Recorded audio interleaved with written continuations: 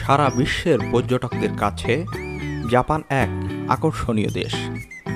দেশটির যেমন রয়েছে সমৃদ্ধ ইতিহাস তেমনই অনিন্দ সুন্দর ভূ সৌন্দর্য বিস্ময় জাগানিয়া নানা স্থাপত্যকর্ম আর রয়েছে বৈচিত্র্যময় সংস্কৃতি ও ঐতিহ্য।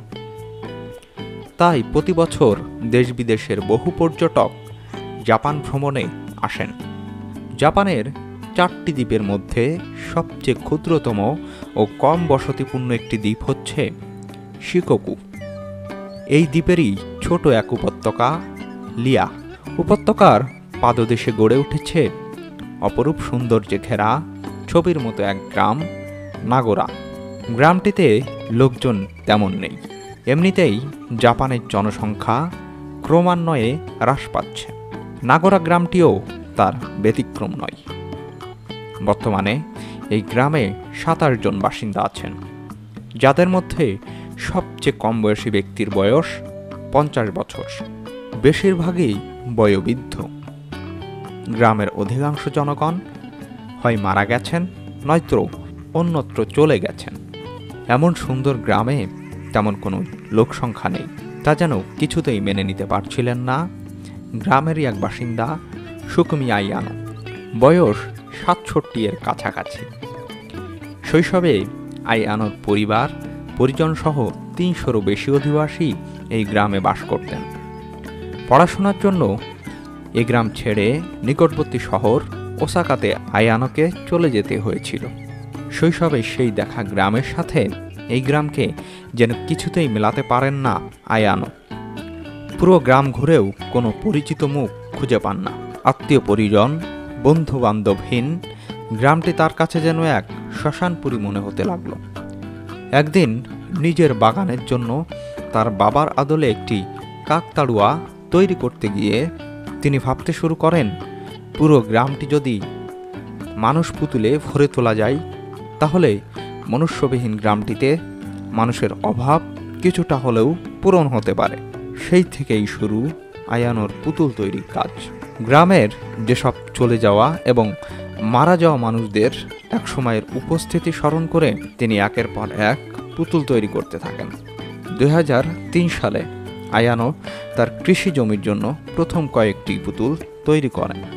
এরপর তার প্রতিবেশীর মুখের আদলে তৈরি করেন আরও কয়েকটি পুতুল। সেগুলো প্রতিবেশীর বাড়ির সামনে এমনভাবে রাখলেন যেন পুরনো দিনের মতোই সেই প্রতিবেশী তার সাথে বাক্যলাপ করছে বলে মনে হয়। এভাবেই একের পর এক তৈরি করতে লাগলেন মানুষের আদলে পুতুল। শিশু, কিশোর, কিশোরী, যুবক, যুবতী, বৃদ্ধ, বৃদ্ধা সব ধরনেরই পুতুল। ক্রমেই পুরো গ্রাম বিভিন্ন বয়সী পুতুলে ভরে উঠতে লাগল।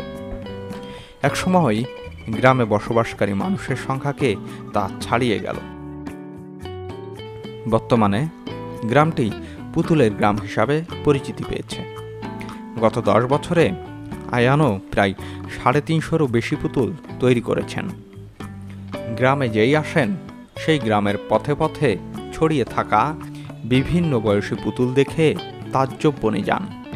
গ্রামের মেঠো পথ দিয়ে হাঁটতে হাঁটতে চোখে পড়ে যায় ফসলের মাঠে কোনো ব্যস্ত কৃষকরূপী পুতুলকে।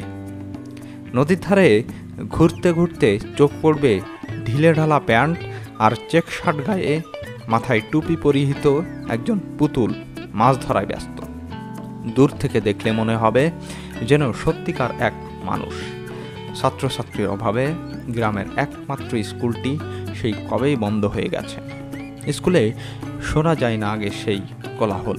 ধুলোবালে মাকড়সা আর পোকামাকড়েরা সেই স্কুল বাড়িতে বসতি করছে। জং ধরে গেছে স্কুলের ঘণ্টাতে।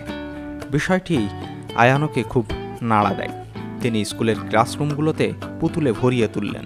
প্রতিটি ক্লাসরুমের বেঞ্চে সারিবদ্ধভাবে বসে আছে একদল পড়ুয়া। পড়ুয়াদের সামনে বই খাতা ছাত্রদের কেউ কেউ পেন্সিল দিয়ে খাতায় শিক্ষকের নোট নিতে ব্যস্ত।